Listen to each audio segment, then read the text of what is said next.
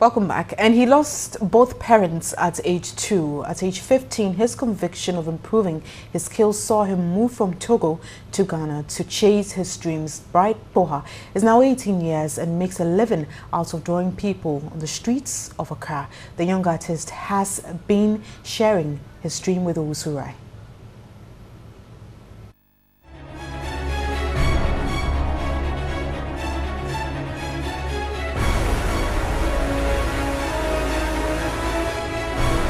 Bright Boy's interest and love for art started at a tender age. Before his formal education, Bright spent his time sketching friends.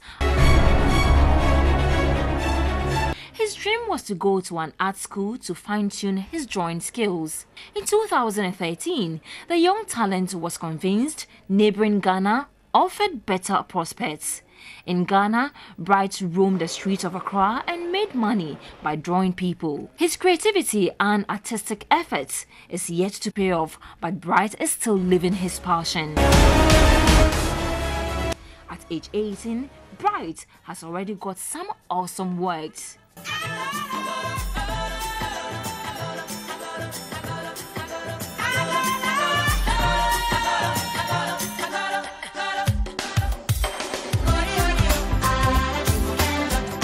The young creator hopes to get better with time. I spent like one week to do this artwork and with more than 17 colored I spent to get the skin color.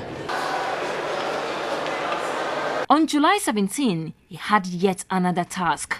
He had to draw a 21-year-old model. All looked on with admiration as Bright started to sketch. Quite unusual of artists, he does acrobatics and draw with little attention on his subject. There's a lot of people out there, they can also draw better, better than me. But what makes you unique? That is the question. So you need to do, or uh, you need to add some skills to it so that it can really makes you different from others. What he does is that um, he makes use of his cognition whilst um, drawing. He's able to use his photographic memory to capture the different shades that we have. So for instance, when he gets a model over here to model, he's able to capture the different shades. While so his, his form of art is very unique.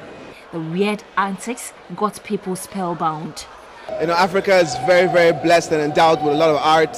You know, it's everywhere. Obviously, this guy is very talented. I mean, people uh, usually when they want to draw or they want to paint something, they have to be in a stable place, but he's jumping around and he's not even looking so much at the lady who's there and he's uh, doing an amazing job. I can see on the paper. So it's very impressive. After almost two hours, the work took shape. It looked awesome. I love it. I love it.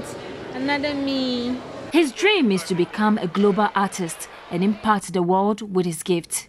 All is by the grace of God. But when I was doing it, sometimes I capture the person image on my brain, then I still focus on my gymnastic skills. I want to have my own place where my, I can display all my artwork so that people can really see what I have done. Big dreams, they say, start small.